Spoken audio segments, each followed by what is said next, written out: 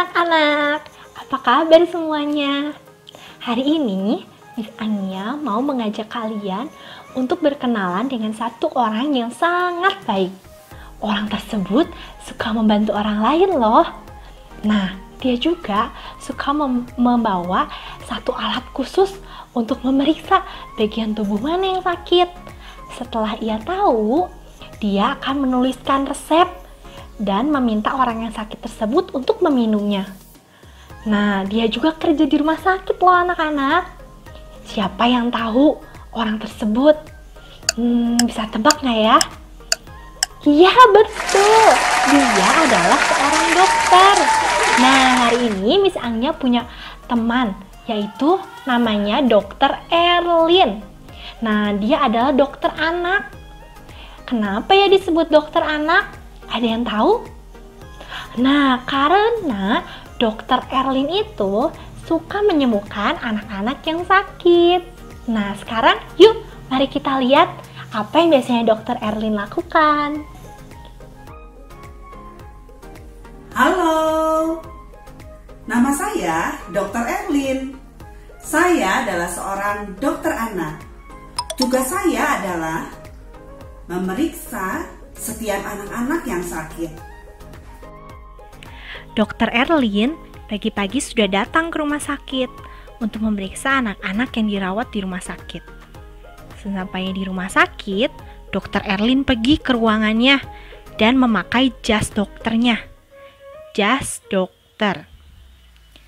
Lalu, tak lupa ia selalu membawa stetoskop. Stetoskop. Stetoskop ini adalah alat untuk memeriksa suara di dalam tubuh manusia. Alat ini digunakan untuk mendengar suara jantung dan pernafasan. Selanjutnya, Dokter Erlin akan berkeliling untuk memeriksa semua anak yang sedang dirawat. Setelah itu, Dokter Erlin kembali ke ruangannya untuk memeriksa kembali pasien. Pasien. Pasien adalah orang yang sakit. Dokter Erlin tidak sendiri, tapi ia ditemani oleh seorang perawat. Perawat. Perawat itu akan mengikuti dokter untuk mengurus dan membantu pasien dalam pemeriksaan kesehatan. Nah, lihat anak-anak, ada satu pasien yang datang kepada dokter Erlin. Ya, pasien berikutnya. Silakan masuk ditunggu. Oh iya saya, Kevin, ayo masuk. Selamat sore Bu, apa keluhannya ya? Ini loh dok, anak saya ini udah 2 sampai 3 hari ini demam terus dan lumayan tinggi dok. Waktu saya tem itu 38,5 dok. Udah gitu ngeluh-ngeluh tenggorokannya juga katanya agak sakit. Ya nggak Kev? Terus uh, apa ya agak-agak sedikit agak batuk-batuk gitulah dok. Oh, coba ya saya cek. Oh iya, iya boleh boleh. Tidur ya. Kevin, Kevin, cepetan Kevin. Buka mulutnya. Ya, makasih.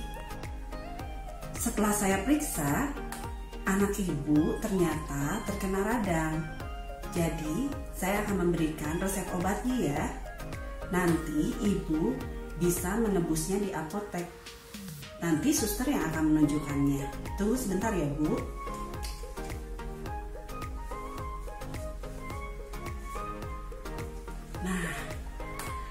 Kamu juga harus banyak minum air putih. Jangan lupa makan sayur dan buah-buahan biar cepat sehat.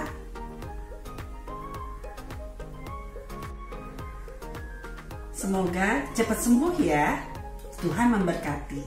Wah, ternyata Kevin demam anak-anak. Anak-anak tadi dengar tidak di mana Kevin dan mamanya harus membeli obat? Ya, betul, di apotek. Setelah keluar dari ruangan dokter, Kevin dan mamanya membeli obat di apotek. Apotek. Apotek adalah tempat untuk membeli obat. Orang yang mengetahui tentang obat adalah apoteker. Apoteker akan meracik obat yang diperlukan oleh pasien. Nah, anak-anak nursery, cerita tentang Dokter Erlin sudah selesai. Nah, itu yang biasanya dilakukan oleh dokter-dokter setiap harinya. Nah, sekarang anak-anak boleh bermain menjadi dokter bersama mama, papa, cici koko, dede, atau mbak. Anak-anak boleh mengikuti apa yang sudah dokter Eril lakukan. Oke, bye-bye, selamat bermain.